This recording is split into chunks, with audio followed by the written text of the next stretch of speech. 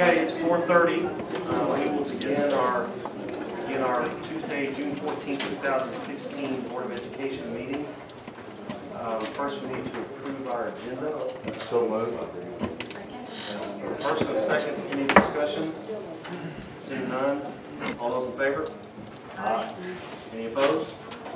Okay. Um, Now we'll move into the recognition portion uh, for DECA and Skills USA. I guess, I guess that's me.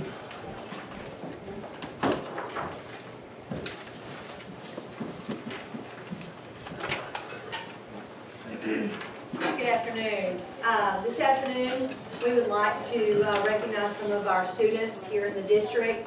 DECA prepares emerging leaders and entrepreneurs in marketing, finance, hospitality, and management. Missouri's DECA services are, services are an integral part of instruction that motivates students to increase their leadership and creative abilities. We would like to recognize at this time Ms. Emily Braden,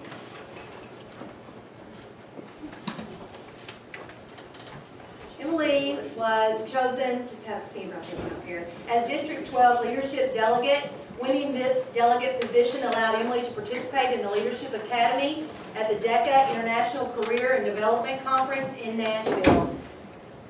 We'd like to say congratulations to you, Emily, and at this time, we would also like to uh, recognize her sponsor, Ryan Lindsay. He could not be here this afternoon, but um, we are very proud of the hard work and the time that they have put in. Thank you, dear.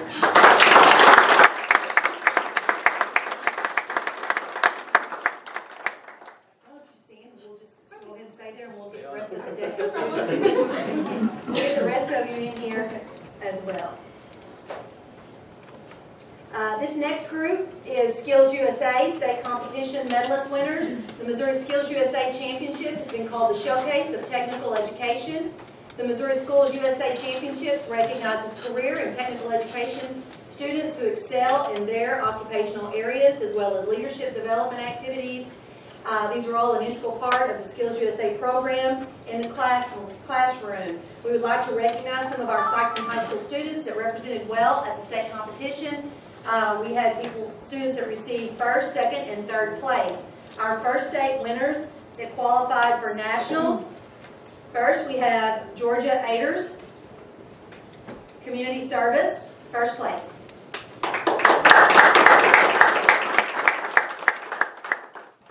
Veronica Hampton, Community Service, first place. Dylan Heaton, TV Production, first place. Ben Mack, TV Production and Written Tech, first place.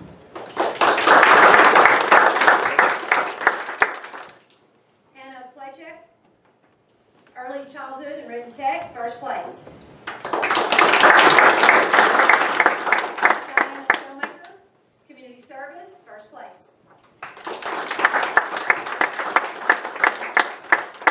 Andrew Skinner, TV Production, first place.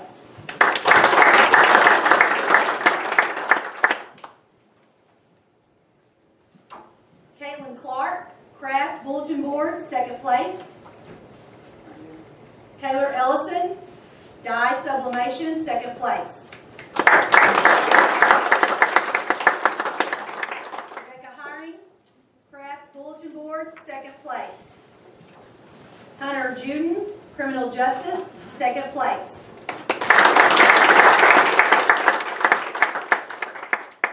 Alina Landers, Criminal Justice Tech Information, second place. Chris Mate, Collision Repair Tech Information, second place. Krista Newman, CPS Health Science, second place. Amber Spears, CPS Health Science, second place. Trandis Williams, CPS Health Science, second place. Several that aren't here this afternoon. Third place winners, Alexis Berger, Early Childhood, third place.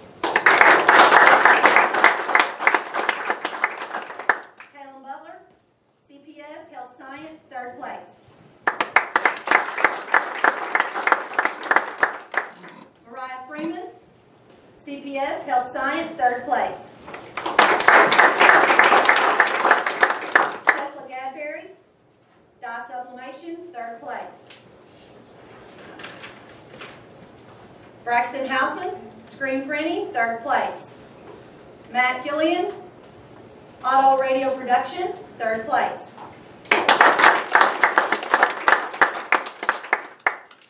Ashley McPherson, CPS, health science, third place. Samantha Myers, audio radio production, third place.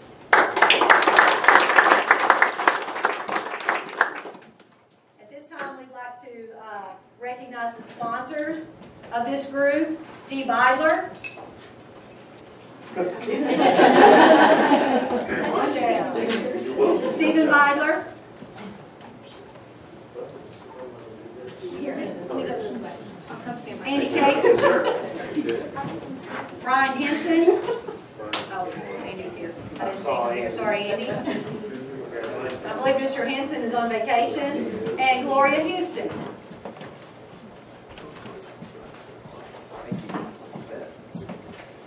Just like to say thank you to all of you. Every year you go and you make us proud and you represent Sikeston R6 very well. And again, sponsors, we thank you for your time and your effort that you put into these young adults. Thank you all very much.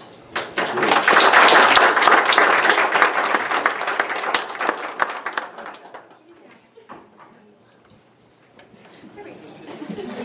you very much.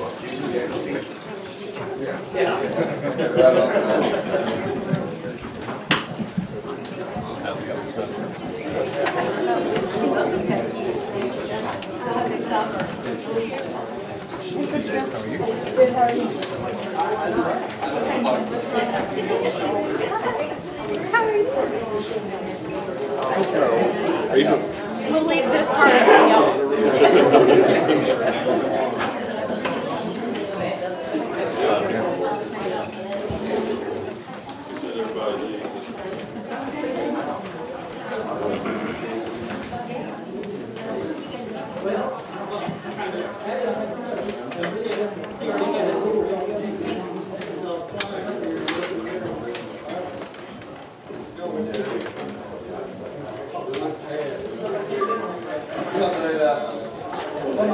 Okay, we're going to move into the administrative part of it, and first is informational. We have the Focus Accountability Plan update. We have Ms. Jordan and Ms. Hartzog here to present that.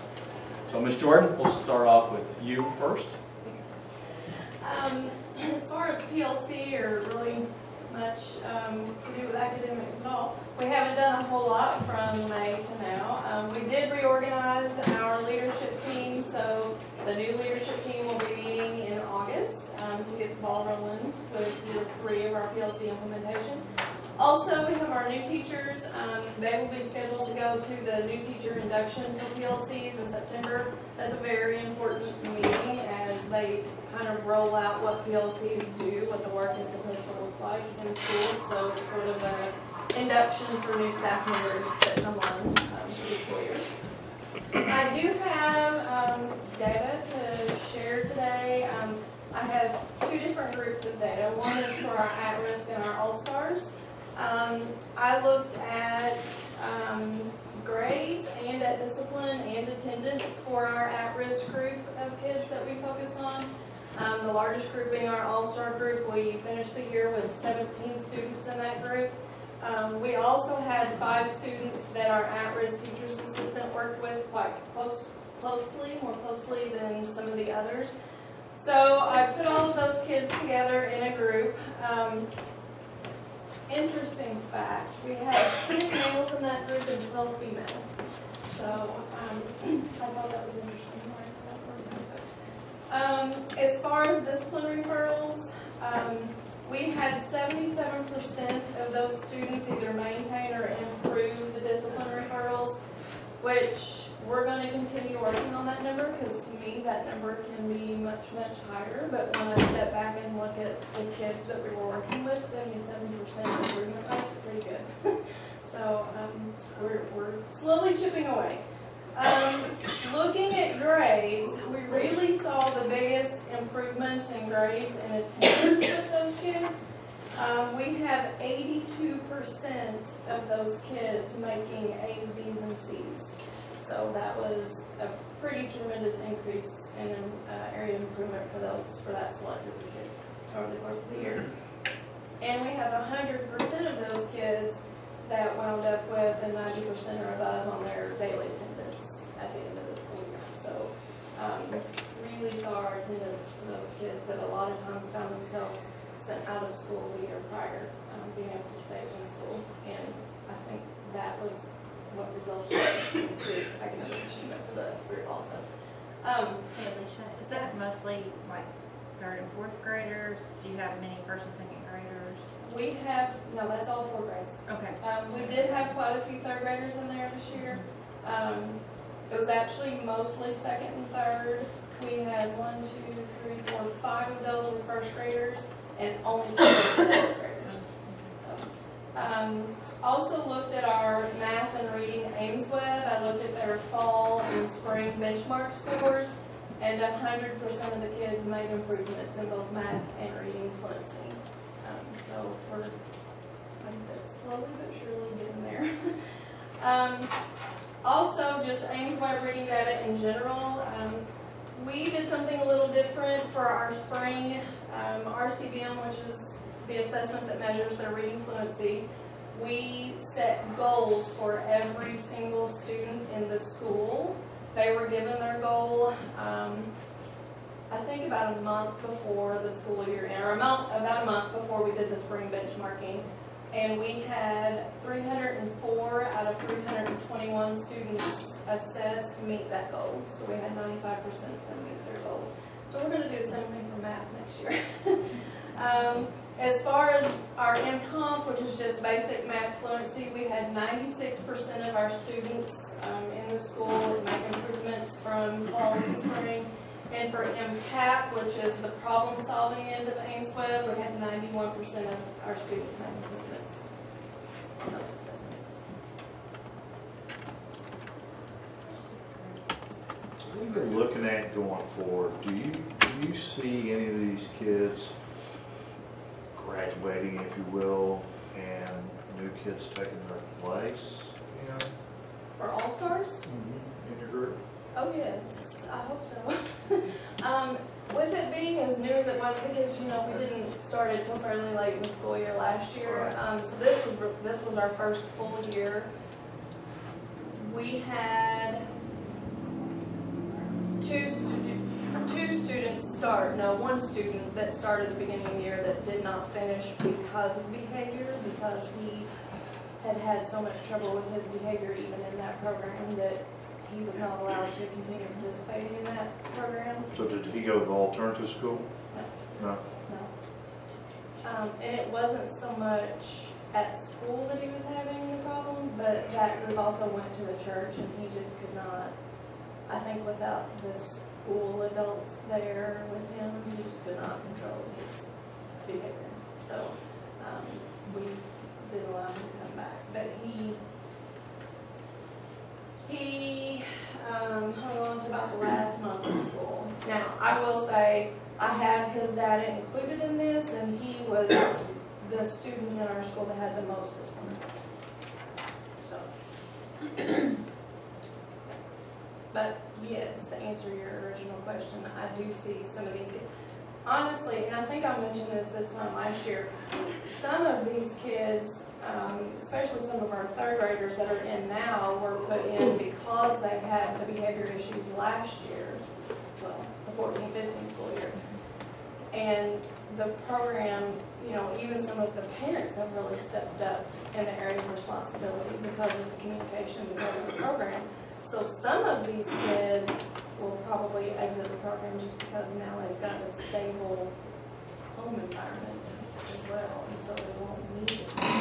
So when they exit, will that give, give room to others then? Yes, and I mentioned, I think, last month that we are gonna try to do things just a little bit different next year, and that we will still only be able to service the twenty kids that we originally set up for, but we're gonna try to do them on two different days, so we just have two groups of ten. But until we get more volunteers, we're not gonna be able to grow that number.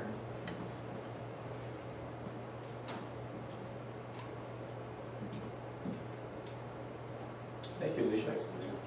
Ms. Okay.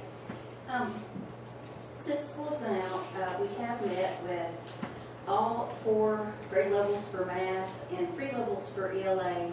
We will meet with, on Thursday, we'll meet with fourth grade. What we've done um, during those meetings is kind of continue our curriculum planning. Um, We've looked over the G- the new GLEs and kind of seen, you know, the crosswalks of, you know, what what we are doing now, what we're going to be expected to do.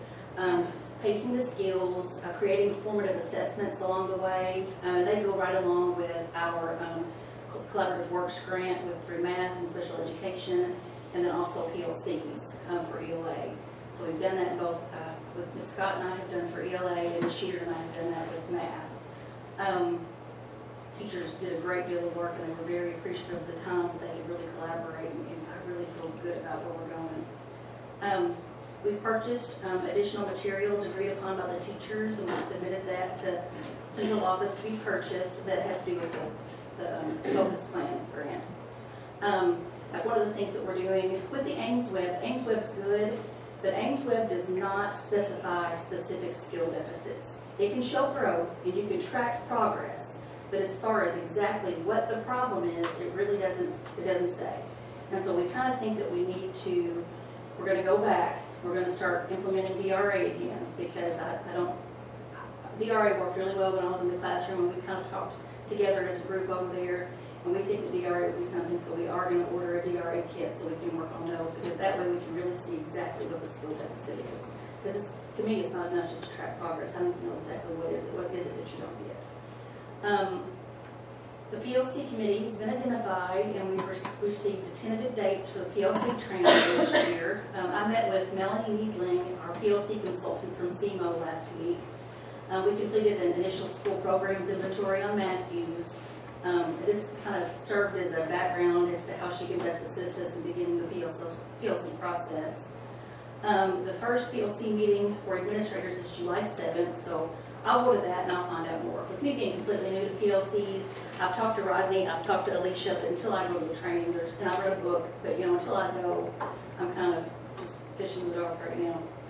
Um, our PBS program, um, will be moving to tier two next year with more training and supports for the teachers and students. Right now, we have four people from our building that are at Tan-Tar-A at the Summer PBS Institute.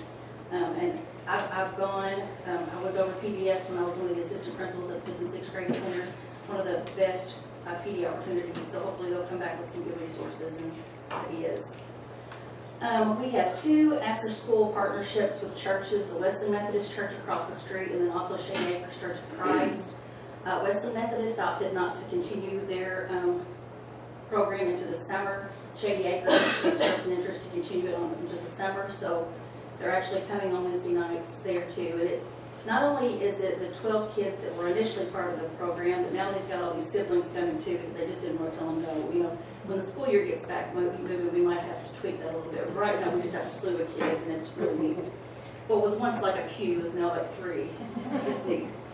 Um, and the last thing, um, Terra Nova scores are back, and Matthews did show some, some improvement. You know, I, in saying that, I realize Terra Nova scores are not aligned to the new GLEs, the new standards exactly, but they are a measure of growth. And even though they're not completely aligned, it usually, I mean, progress is progress. And, I, I've never seen us do really awful on the Terra Nova and do wonderful on the map test. You know, so I mean, usually if you don't do great on the Terra Nova, it kind of, I'm not saying, I, I don't know what the map test is going to look like. I can just hope and pray and know how hard we worked. But saying that, um, for Terra Nova, first grade improved in reading and math, and then second grade showed improvement in reading, math, science, and social studies. So, you know, for, and, and when I told the teachers, it's, you know, they've just been under so much stress. You know, it's not fun being in a focus school. It's not having year after year just not feeling like you're getting there no matter how hard you're trying.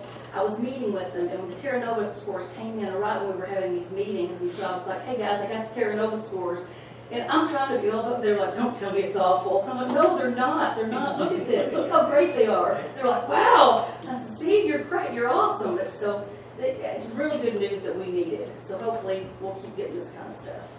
That's all I got.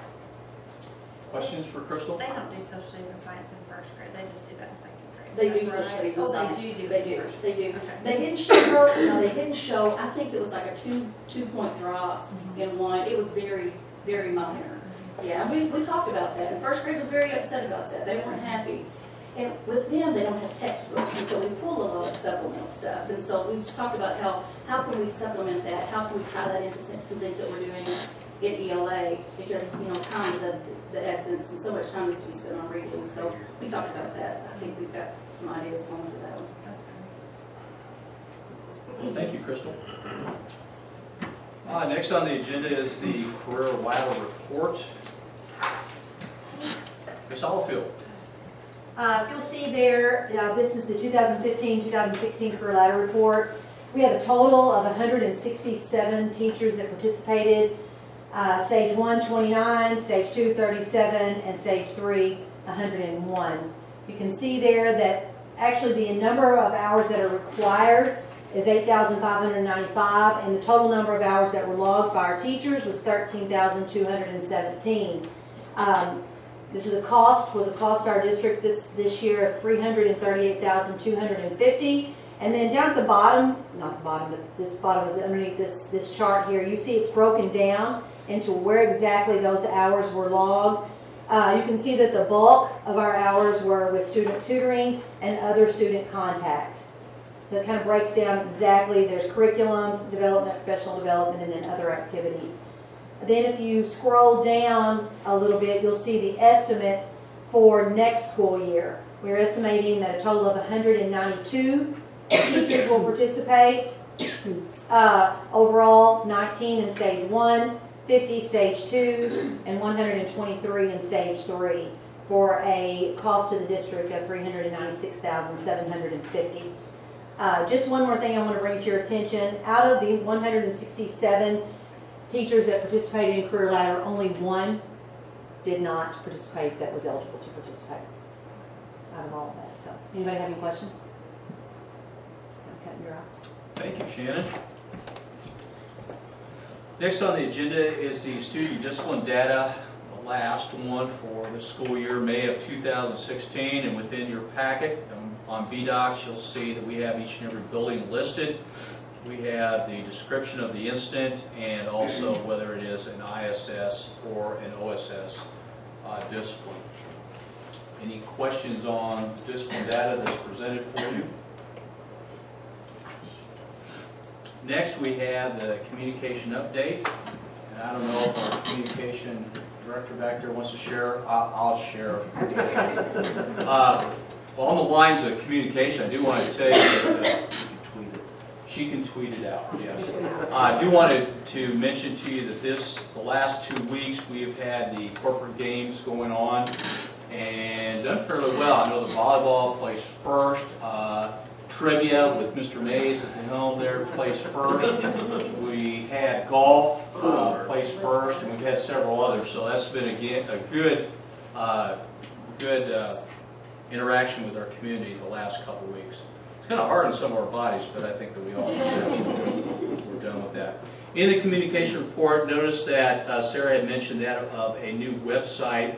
Uh, Gabbard Communications has been selected to take that over. Actually, next week, we're going to have some training going on with our administrative staff, and that will go live as of August 1st. Uh, The process began back in first part of second se- se- semester, excuse me, and we interviewed several groups, and with that, we came up with Gabbard Communication.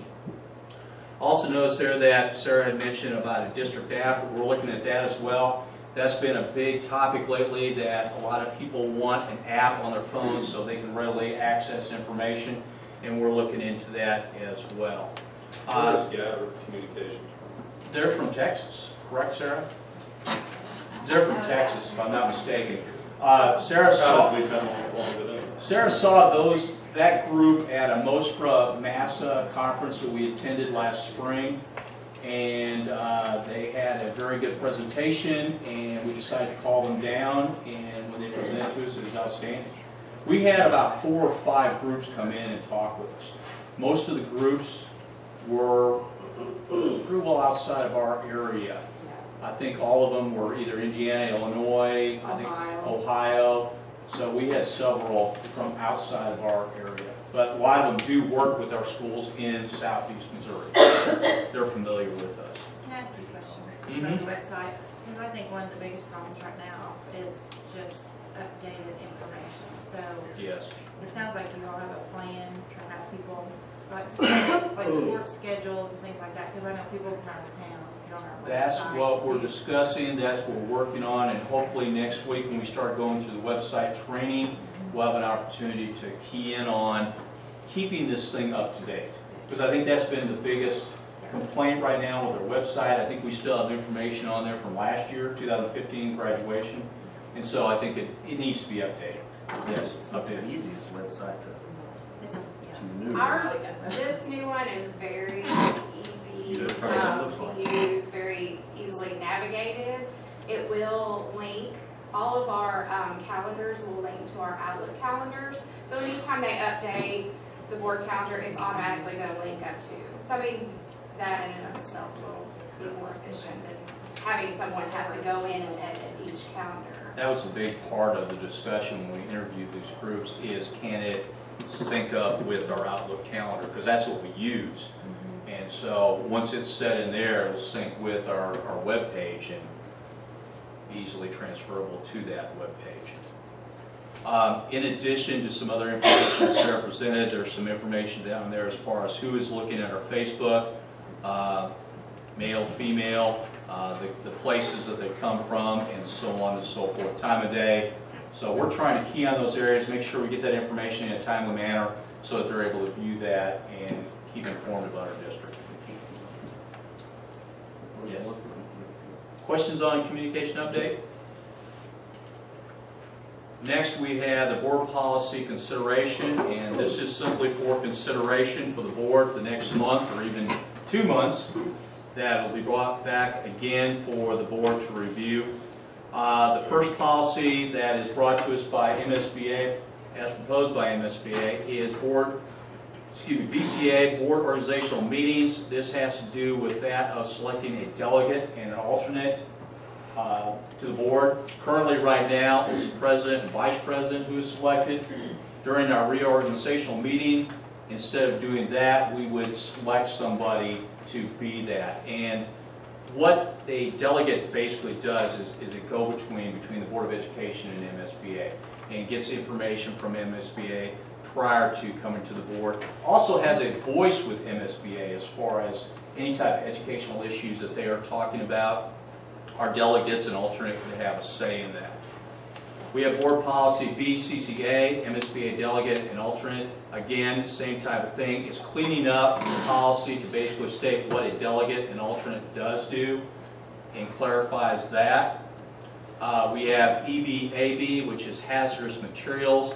This updates this policy, and I can say right now, we're ahead of this game. We are with this, above this game as far as what we do as a school district but it includes things as asbestos, chemical ha- hazards, lead, and also that emergency plans.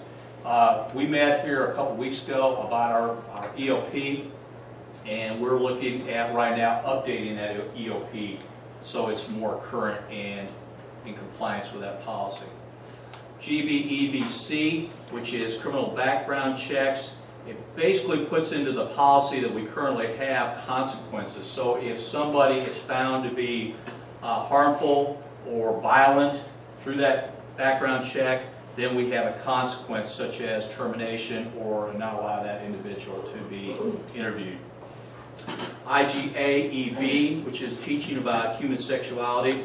Uh, This is in line with House Bill 501, which is, says current law pertaining to instruction about human sexuality, to add requirements that schools also teach about sexual predators, including online sexual predators, teach about safe internet use, and encourage students to report inappropriate behavior.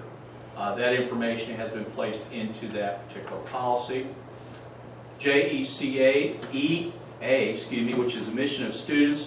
This has to do with military students and families, and as far as those kids uh, residing and attending our school system. Rarely thought of that. Some kids, both parents are going. Yeah, live with take like a community like Waynesville, that, that's, that's a, a, a big issue there. Um, However, we don't have that Right. much, but it could occur and we need to be prepared for that. JECC, assignment of students to grade level and classes. This is to remove North Central Association from that wording and change it to AdvancED. North Central used to be our accredit- accreditation group. They used to be the one that used to come in and do that for us, uh, and that has been taken over by AdvancED. JHCB, which immunization of students. This is compliance with Senate Bill 341, which requires preschools, daycare centers, nursery schools to notify parents or guardians of children in those schools. They can ask whether any child in the preschool, daycare center, or nursery school has an immunization exemption on file. And this is something that came out late last year, and we are adding that to our board policy. JHG, reporting and investigating child abuse and neglect. This updates the, the particular policy to state that basically everybody is a mandated reporter, all the way from, we're talking about maintenance workers, bus drivers, all the way up to the superintendent are mandated to report that information to the child's, to the children's division. Will everybody receive training? Yes, they do at the beginning of the year. Everyone receives that training.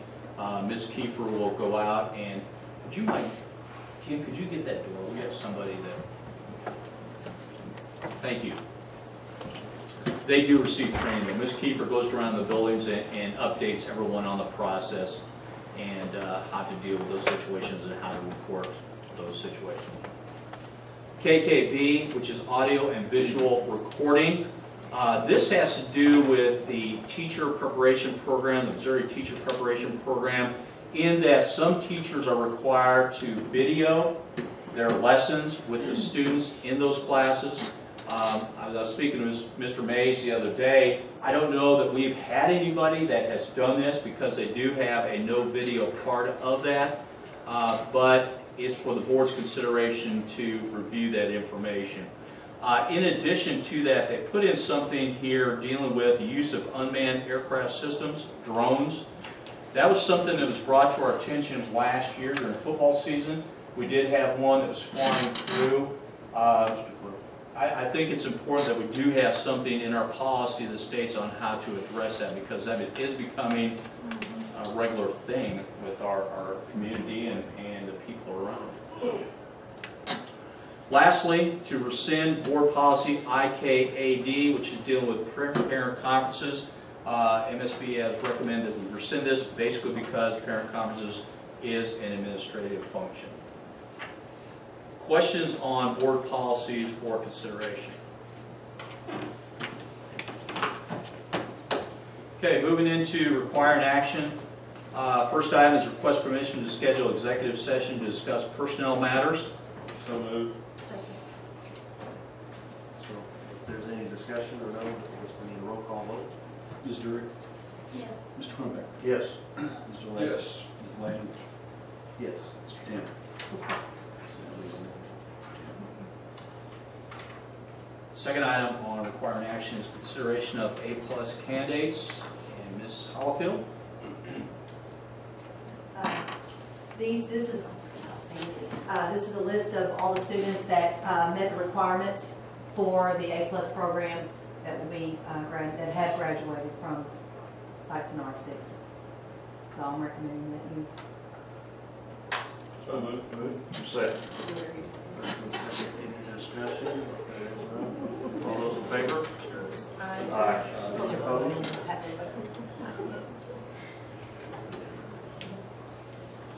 Next is a consideration of supplemental vision and orientation and mobility services. Mr. Prater? Hey folks, we have, uh, we need to put out a bid for uh, supplemental services. The gal that's been providing services for the last few years is moving on out of the area. Um, So we had to put it out there and we, we have one bid. It's from an organization called New Outlook. Uh, Aaron Brewer is the person that provides the services and these, these are.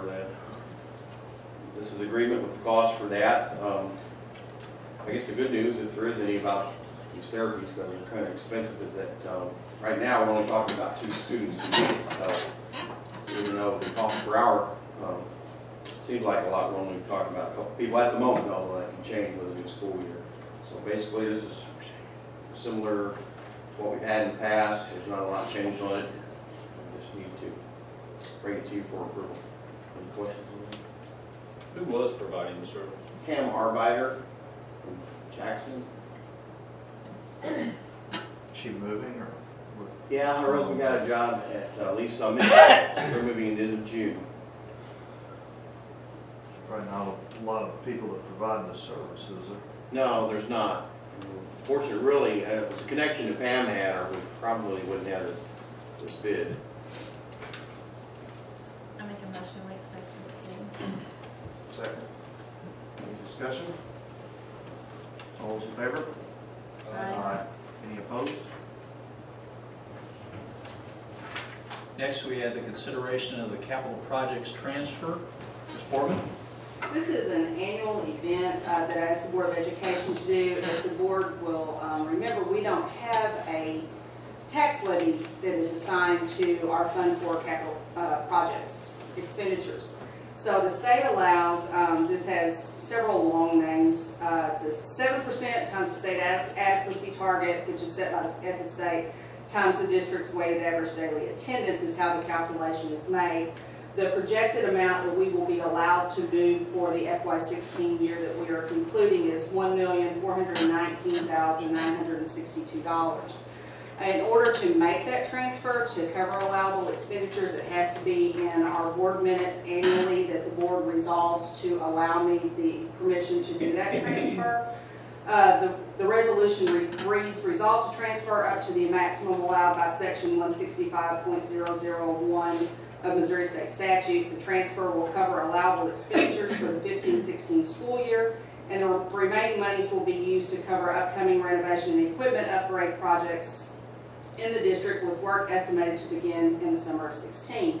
The reason behind the resolution is they don't want you to build your Fund Four balances if you do not have a plan. And a perfect example is last Wednesday night you approved for safety reasons the stadium poles. This is something that will help us to move money from our operating account over to capital projects to cover those types of expenditures. So I'm asking the board to adopt this resolution today. We will move, once we do the annual secretary and board report in July, we will come back to you in August and tell you exactly the amount we move. We don't always move the maximum. It's just what is most beneficial to the district on paper. I move we adopt the resolution as read. Second. Any discussion? Seeing none, all those in favor? Aye. Any opposed? Next on the agenda is a consideration of the office supply bid. John Seiler of Central Supply has sent the following recommendations. We have officesupply.com, 11 items at $1,301.11. Station, standard stationery, 55 items at $8,382.71. Office Depot, five items at $657.64. And school specialty at 17 items at $667.21. The total bid is $11,008.67. That's the total for the 2017 bid. Do we need to make a motion separately, or? No, one all motion? at once. I make a motion to approve the office bid as read. Second. Any discussion? I think it's nice that they actually don't, they break it out and let you buy certain items. I mean, I'm surprised. It is nice. He gets the overall bid on those items and able to select the best price. What's amazing is the difference that some people charge for like staples. You know, Yes. but we got the cheapest.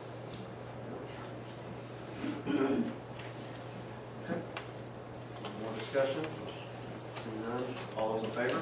Aye. Any opposed? Next on the agenda is consideration of facility rentals rate pursuant to policy uh, KG. Uh, We are required to annually review the rental rates of our facilities. That is included within your packet. This, these rates were developed back in 2004, I believe. However, I feel like that they are still competitive, and I am recommending that we keep the same rates that we've had the last 12 years. Move we accept that recommendation. Any discussion? Seeing none, all those in favor? Aye. Any opposed? Next is consideration of Project iLearn purchase. Um, This is a single source purchase, so we have had posted on our website and in a local newspaper um, the required documentation since the iPads are only available from Apple Incorporated. Uh, This was adopted as part of the budget last June as a continuation of our replacement um, cycle. These would be new iPads. It's um, distributed to incoming freshmen and new cases for those as well. Uh, The recommendation is to purchase 270 iPad Air 2 Wi-Fi with 65 gigabytes. Uh, This also includes a three-year Apple Care, which we've purchased. Uh, That's basically a service agreement for repairs. Uh, The total cost for the 270 iPads would be $154,710. Do you want this done separately, Mr. Williams? The iPads and the cases separate, do you want the motions done separate? I think we have in the past done it all together, Okay. but I think that, are they two separate vendors? They're two, s- No, in this case, they're both Apple. It was all one bid, wasn't it? yeah, then we'll do one It was all bid. together. There were two different proposals. And then in addition um, to the 270 iPads, the recommendation is to purchase 270 protective cases for those iPad Airs. uh, For, the two, cost for 270 cases is $13,486.50. It's recommendation of the administration to accept this bid. So moved. Second. Any discussion? I think, go ahead. I just had one question. I, I noticed the ad in the paper. Are are we required to advertise that locally if we know there's, there's no local vendors? Our board policy says when there's a single source vendor, those are the steps that we have to apply. So we're telling the public that we realize that we have a competitive bid process in place via board policy, but in this case, there's not multiple competitors, so this just keeps us in compliance with board policy. Just curious. I think that if we're gonna continue spending this kind of money on iPads, that we need to have a discussion as a board on the Project iLearn. Because we've spent like one point six million so far on iPads. And I think that the board needs to discuss the program, are we seeing, I don't know what the intention was of the iLearn program. Um, I don't know what the thinking was behind it, but, um, are we seeing any benefits? What are the negatives to it? Um, Didn't we just do that February? Was that for the fifth or the, uh, We did it in Junior part, but I, I understand what you're saying. She would just like clarification as far as how it began, what was the rationale behind the decision with Project iLearn, the pros and cons. We can come back in August and do a, uh, a, a follow-up on that. Be more than happy to. because I, you know, I, there's a lot of negatives to this. I think there's a lot of, um, issues that have gone on, especially in the junior high school with this. And if we're considering, I know the, the, the talk has been going down to the fifth and sixth grade center. I don't know if that's meaning you want to, um, have every child have one like they do at the junior high and high school. Or if it just means, extent. if it just means that we're just putting them in the classroom. But I just think that there needs to be, in, not a discussion of having, coming in here with like a, um, you know, a uh, PowerPoint of, or uh, showing projects that were done in the school or whatever, but like a discussion of, this is what we're seeing in the schools, this is what I'm hearing, this is what the evidence is showing, look at the scores, are, are we seeing an increase, are we seeing a decrease, or discipline and that kind of thing, so I think Well, that, I, I think we were trying to do that in our, in our last, in our last meeting. However, we can break it down, we can show you that discipline has gone down in certain areas, we can show you the results.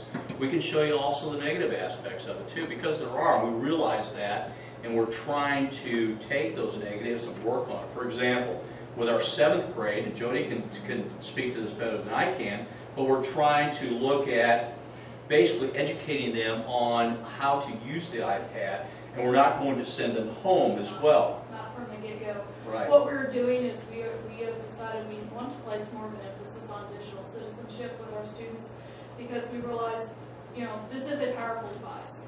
You know, the world is at your fingertips.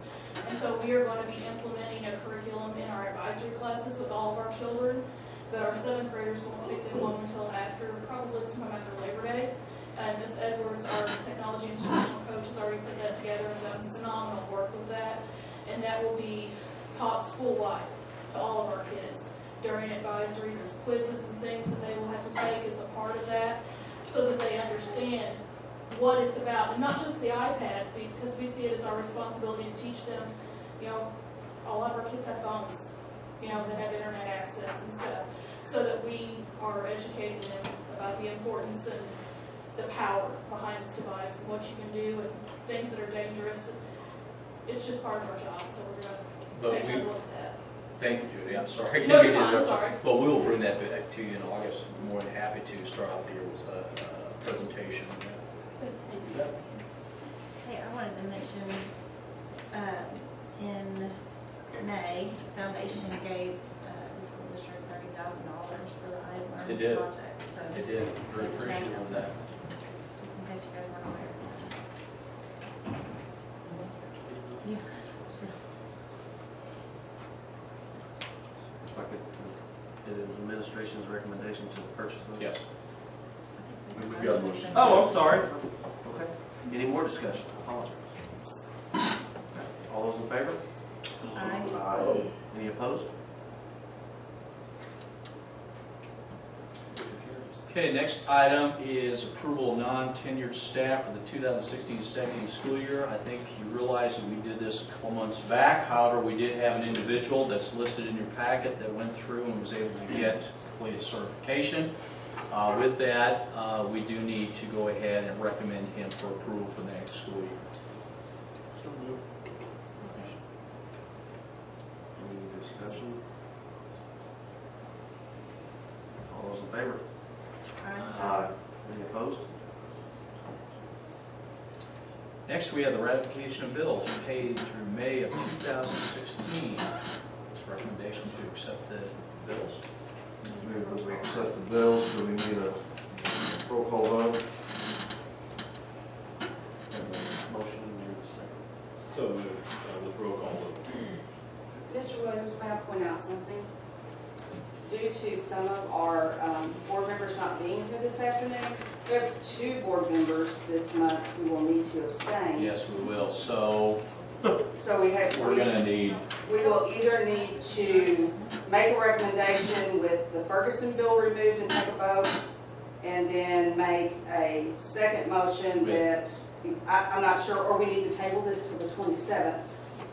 I mean, as long as they're approved this month, we're okay. You, you have a quorum, We're but gonna- even if you have abstentions, you, you can, you, you still have a quorum, so you can still conduct business. You don't have to have, you have to have a quorum for the meeting, I don't think you have to have a quorum for one. Okay. You have a majority for the vote. Okay, so we can just wanna ahead make and sure have we, Amy and Matt abstain on that. I'll double check that if we have to bring it up at the. We can do it again on 27th, 27th if but necessary. I, I think, All right. I think everybody can abstain and needs to abstain. okay, thank you. My motion stands. Okay. And let's see, do we have a second? Oh, I'll second. Scott, yes. Roll call vote. Ms. Drury? Yes. Mr. Crump? Yes. Mr. White? Yes. Ms. Wayne? Abstain. Mr. Abstain. Abstain? Damn. I've had one of those days. Here.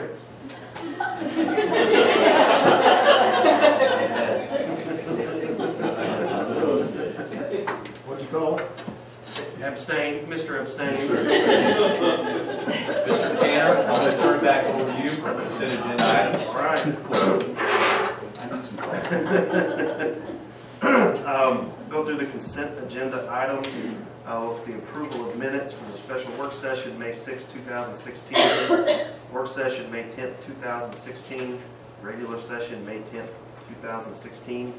Executive session, May 10, 2016. We have the acceptance of employee retirement, which is Lisa Vaughn. We have acceptance of employee resignation, Eric Voorhees and Brent Taylor. The sale of surplus property pursuant to policy DNAP. And we have the approval of handbooks, which is uh, the SETC Adult Student Handbook, Library Media Services Handbook, Health, Health Services Handbook, and Practical Nursing Student Handbook.